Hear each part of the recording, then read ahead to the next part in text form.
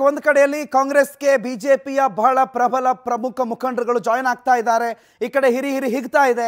ಆದರೆ ವಿಜಯನಗರ ಜಿಲ್ಲೆಯಲ್ಲಿ ಕಾಂಗ್ರೆಸ್ನ ಪರಿಸ್ಥಿತಿ ಹೇಗಿದೆ? ತೀವ್ರ ಹಿನ್ನಡೆಯಾಗ್ತಾ ಇದೆ. ಟಿಕೆಟ್ ಆಕಾಂಕ್ಷಿಗಳು ಈಗ ಸಿಡಿದೆದ್ದಿದ್ದಾರೆ. ವಿಜಯನಗರ ಜಿಲ್ಲೆಯ ಕಾಂಗ್ರೆಸ್ಗೆ ಬಹಳ ದೊಡ್ಡ ಹಿನ್ನಡೆಯಾಗಿದೆ ಟಿಕೆಟ್ ಆಕಾಂಕ್ಷಿ ಎಂ ಪಿ ಲತಾ ಮಲ್ಲಿಕಾರ್ಜುನ್ ಕಾಂಗ್ರೆಸ್ಗೆ ರಾಜೀನಾಮೆಯನ್ನು ಕೊಟ್ಟಿದ್ದಾರೆ. ಕಾಂಗ್ರೆಸ್ನ ಪ್ರಾಥಮಿಕ ಸದಸ್ಯತ್ವಕ್ಕೆ ರಾಜೀನಾಮೆಯನ್ನು ಘೋಷಣೆ ಮಾಡಿದ್ದಾರೆ. ಕಾಂಗ್ರೆಸ್ನ ಟಿಕೆಟ್ ಆಕಾಂಕ್ಷಿ. ಸೊ, ವಿಜಯನಗರದಲ್ಲಿ ಕಾಂಗ್ರೆಸ್ಗೆ ಬಂಡಾಯದ ಬಿಸಿ ತಟ್ಟುವಂತಹ ಸಾಧ್ಯತೆ ಇದೆ. ನನಗೆ ಹರಪನಹಳ್ಳಿ ಜನರ ಬೆಂಬಲ ಇದೆ.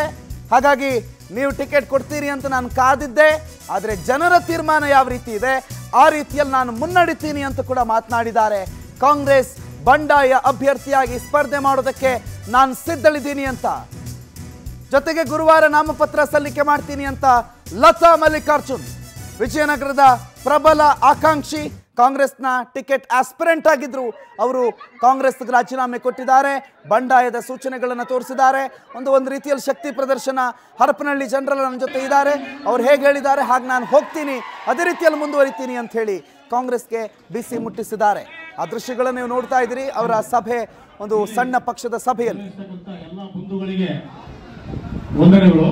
ಕಾರಣ ಇಷ್ಟೇ. ಇಲ್ಲಿ ಸೇರಿರ್ತಕ್ಕಂಥದ್ದು ಒಂದೇ ವಿಷಯ. ಏನಪ್ಪ ಅಂದ್ರೆ ಲತಾ ಮಲ್ಲಿಕಾರ್ಜುನ್ ಅವರು ಈ ಕ್ಷೇತ್ರಕ್ಕೆ ಎಂ ಎಲ್ ಎ ಆಗ್ಬೇಕು ಅದಕ್ಕಾಗಿ ನಮ್ಮೆಲ್ಲರ ಅಭಿಪ್ರಾಯ, ಜಾತಿ, ಧರ್ಮ ಯಾವುದೂ ಇಲ್ಲ. ನಾವೆಲ್ಲರೂ ಒಗ್ಗೂಡಿ. ಅವರಿಗೆ ಈಗ ಸಮಯ ಇಲ್ಲ. ಯಾವುದೇ ಸಮಯ ಇಲ್ಲದ ಕಾರಣ